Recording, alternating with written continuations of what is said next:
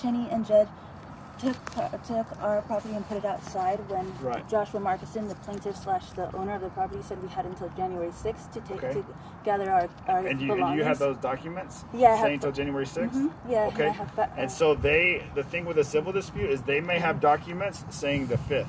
They don't though. No, I, I, I'm not. I'm not saying they do.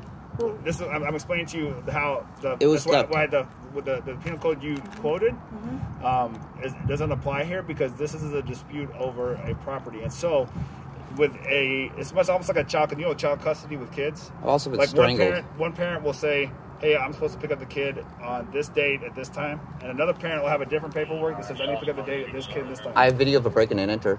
Right. No, I have so- video of a break and enter from the, the like a month earlier So all that, all, like my partner was saying, when I'm still in possession of my that's all home. going to be a civil Right. dispute.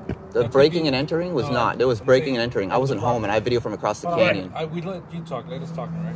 So, like I said, the dispute over the property is going to be a civil dispute. With all the paperwork you have, you're going to present to a judge, and then the other party's going to present all the paperwork they have. They're going to present to a judge, and the judge can determine if it's your property, their property, and if there was any crime. The uh, person's violated. the person's doing And this. so the, the, the the- they, they wouldn't do that in a civil court. They just don't do that crime part. Though for do criminal is activity, Itemize everything that was in that it's house. civil. They don't do that. If you haven't already, I have it. I get, Where- get document everything, every every TV, every I know piece that. of jewelry, It's like a bill of lading. everything. Because when you go to court, like my partner said, for the civil dispute, they'll, they'll have to pay that back to you because you're because of what occurred. Can I? But the, the I thing with, with criminal activity is there has to be intent. yeah, There there is intent. There's massive Oh, intent, and we can this, show it. But this is a civil dispute because they're going to say you have your side of the story, and they're going to say the exact same thing from their side. They're going to Yeah, say, "Hey, here's the these thing. people won't leave. These people." I know want the this intents property," exist because the state's that, already okay? doing an evidence. There's a case with the state already. The state is already in, is doing. And you already stated that you were hiding from him when he locked the, the mm-hmm. property. Because- so because- how was he supposed to know that you were in there if you were hiding from him? But my You- wife you was said not. My wife was forced downstairs to the basement where she had the door locked on her, and then he smashed all of it in front of her again, and she was forced to follow him with two guys behind him or her. There are three people.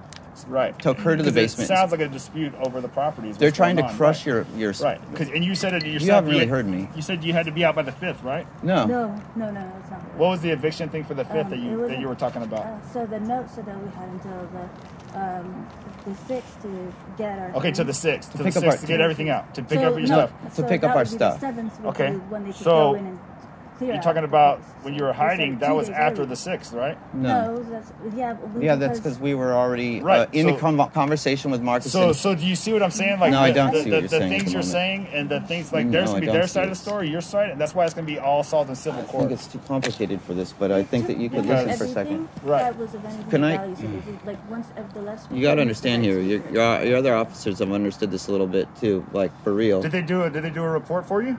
They've taken incident cards and then building up this like. Okay, and that's exactly what we've given you right now. I'm trying to say that the state has a criminal case against uh, Josh and for Richard for um, for the intent aspect of this, which is contracting without a license and non-payment of state employment insurance, and then continuing to contract on our house and building an illegal building, and then rent skimming, and all these other things. So the intent is literally their in- Right. unjust enrichment, which has been their purpose the entire time, was to launder money and intent to commit these crimes, and we are the victims of the purposeful intent that they've had the whole time, which is an Ellis Act house that cannot have And any of this that's done. why you'll take them to civil court. But it's not a civil matter. This is a criminal matter. They've committed mortgage Yeah. fraud on a level that's fundamentally a legal problem of the of a of a federal crime.